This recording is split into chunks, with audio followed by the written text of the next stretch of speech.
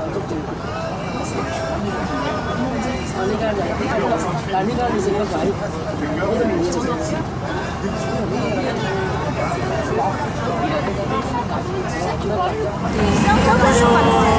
is Matil Steven. Hello, it's again, Steven.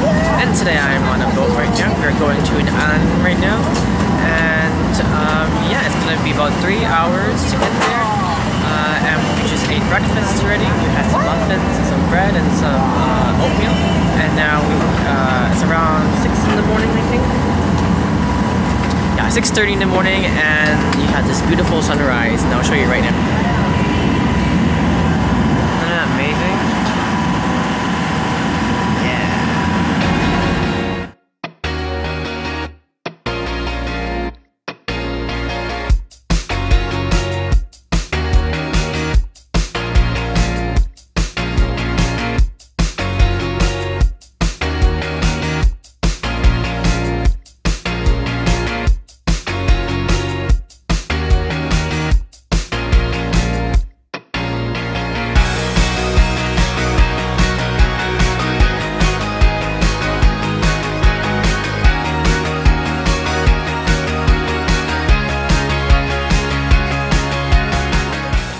Are here.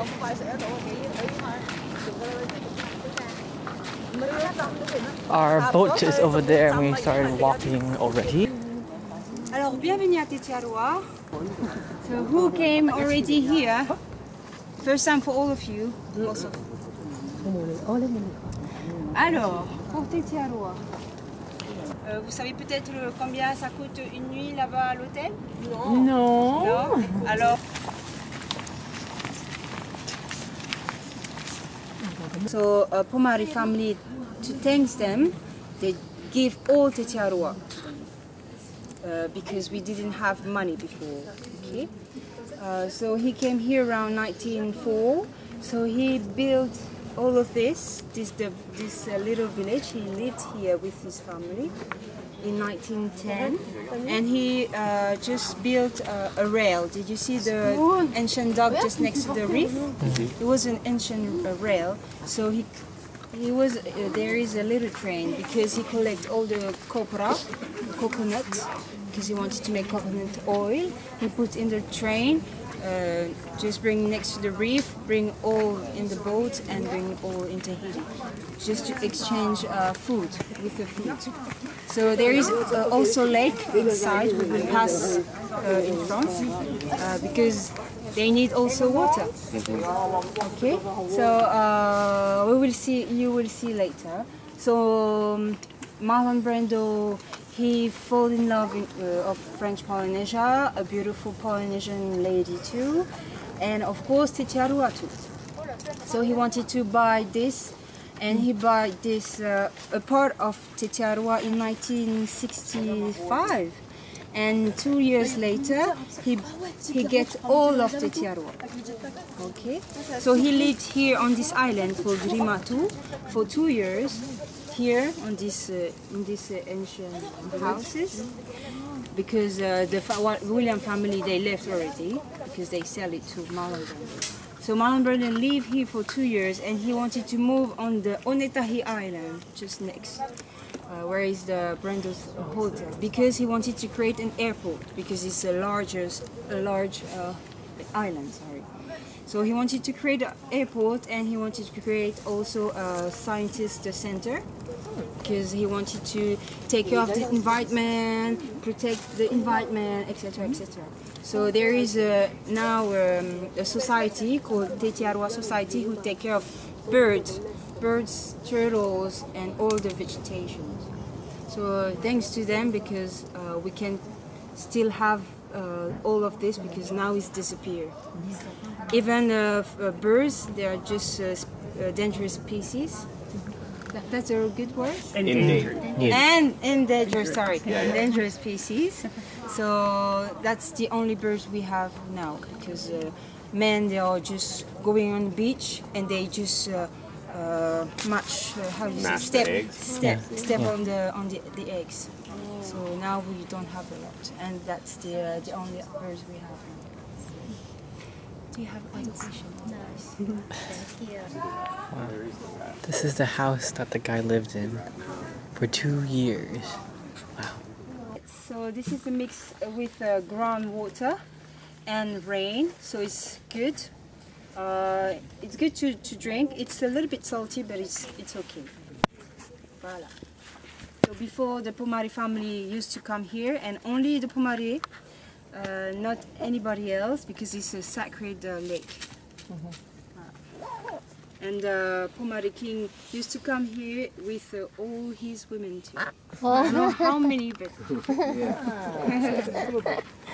if you if you're if you asking for holes, this is the crabs' houses. Oh. So more it speak, more the crab is. This is a flower called Kahaya. And she just explained to us saying that it is a type of jasmine. So with the Miki Miki, the in Tuamotu Island, the east of French Polynesia, uh, Paumotu, the people who are living there, they are using Miki Miki to catch fish. So how? So they are yes, Miki Miki. So they are uh, using the palm trees. They are making circle, and they are just uh, push the, the the fish next to the beach. And with this, they just uh, hide inside the Miki Miki, and people are just uh, uh, bringing them to the beach, and other people are just preparing uh, the fire, and then directly to the fire. So that's uh, the best way when they are catching the fish. That's the ancient time. Now we have new generation. They have hooks. Fresh fish. Yeah. So basically, she just explained that this is the plant right over here. And that they use this plant to make the houses, the carpet, um, also some jewelry also. And it's also used to make a necklace that has a very nice fragrance.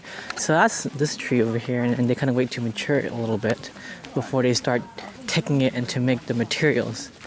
And so, but also, um, if there is no food, they will use this plant to eat. Um, it will not taste very good, but they will use it and they will grind it to make a type of paste for bread.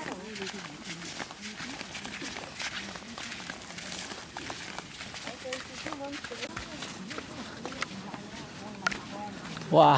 Is it beautiful? Wow. Yes. Wow. Island. So beautiful. Before we are going, I will just give you information over here. Voila. It looks so beautiful. You see the beach just in front. This is also the, bird island, so it's forbidden to, to go. Okay, nobody are allowed to go. If we are seeing anybody, uh, nobody will come back here into Taiwan. Like no father, no anybody. Okay, so just please respect and don't go on the bird island.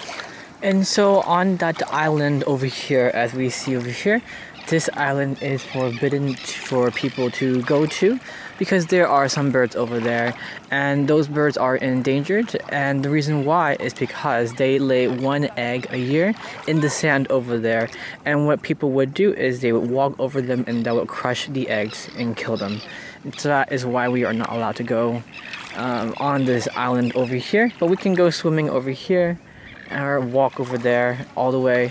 But as long as we stay outside of these wooden poles over here, we should be okay. So yeah. Oh, a whole family of sea cucumbers. Wow. Whoa dear.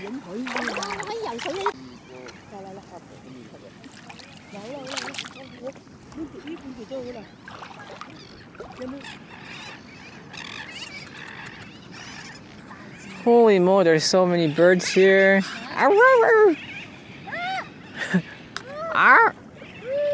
Eh.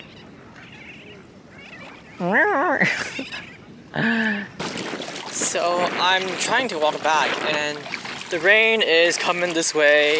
You can see the clouds. It's coming. It's coming.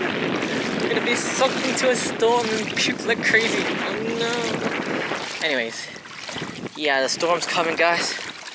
Gotta be safe. So I need to hurry and go back so we can uh, get all wet and dirty. You know. You know. Anyways, see you guys later. Au revoir.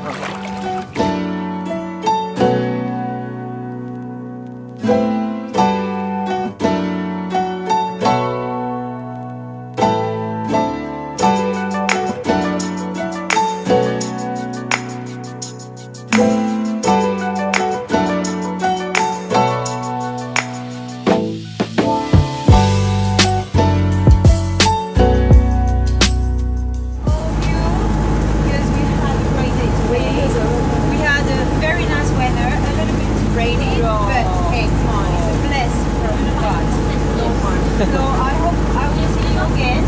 I hope. No.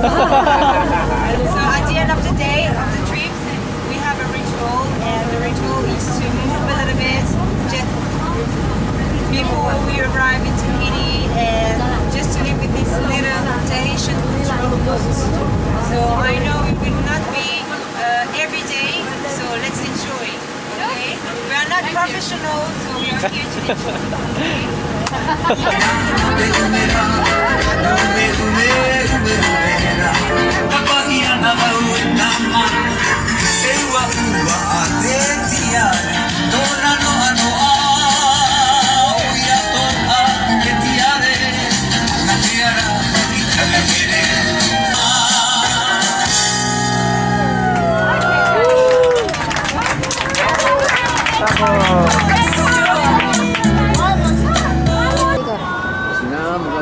Bye bye. This is the Ohana boat.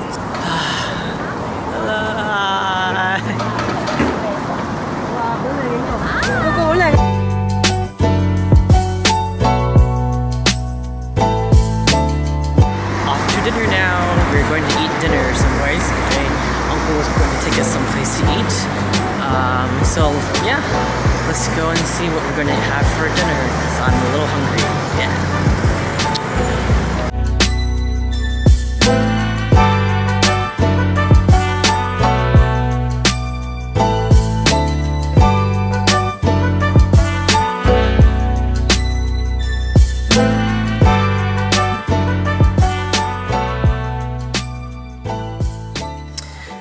Anyways, I think I'm gonna end the vlog here today because it's been a really, really exhausting day going to the lagoons, uh, coming back eating, um, and dealing with all this losing key situation and being locked out and worrying about thieves coming in and stealing it or even like hurting us. So, anyways, I'll see you guys later. And um, yeah, so peace.